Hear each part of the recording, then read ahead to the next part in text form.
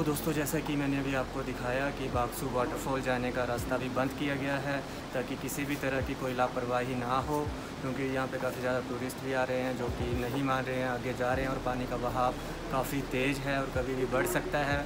यहाँ पे बारिश दो तीन दिन से हो रही है और बागसू वाटरफॉल में कभी भी पता नहीं चलता है कब पानी का बहाव तेज़ हो जाए।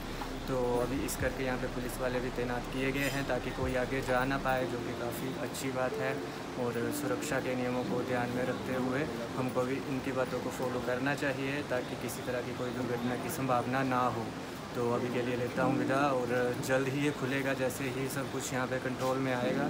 वैसे ही ये खोल दिया जाएगा बट उसमें अभी थोड़ा टाइम लगेगा।